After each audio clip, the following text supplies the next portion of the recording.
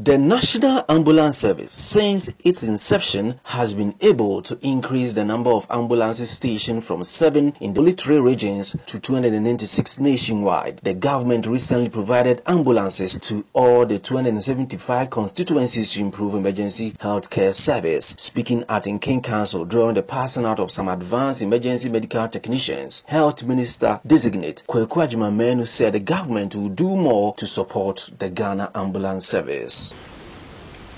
With regards to inadequate fleet of ambulances, the seventh parliament, before its dissolution, approved a loan facility for the government to procure more ambulances to augment the fleet of the service. To be very specific, a hundred more ambulances will soon be added to the 307 which were distributed in the first term of His Excellency Nana Addo Dankwa Akufo-Addo. The current major challenges yet to be tackled are the lack of adequate infrastructure and capacity building facilities at the paramedic and emergency care training school. Nana, all efforts to be made by the government for the upgrade and construction of the required facilities as you have requested and as my colleague the MP continues also to reiterate. With Ghana recording more active cases of COVID-19 in recent times, the National Ambulance Service says it has put in place adequate structures to attend all emergency cases as the country experiences a surge. Chief Executive Officer of the service, Professor Ahmed Nuhu Zakaria, said although specific ambulances have been assigned to COVID-19 cases, they are dedicating some resources and effort towards the disease. Uh, in the forefront of the fight against the COVID-19 pandemic, and if you look at the nature of our operations, even beyond the pandemic, we are supposed to provide everyday emergency care services. And more than ever, this is the time that our services are even more needed.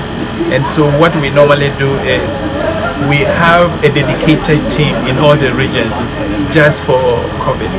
In that regard, they don't um, combine their operations with the everyday emergencies because you will realize that the pre-hospital emergency system can either be a system to prevent the spread or even be a contributory factor. And therefore, we don't want a situation where you are using the same ambulances that you'll be using to respond to COVID cases and also respond to normal cases. So in every region, the regional administrators and the regional coordinators have been able to um, assign certain ambulances dedicated solely for the combat of the pandemic. Some graduates who spoke to Citi News expressed confidence that their training will help them contribute significantly towards the provision of emergency healthcare services in the country.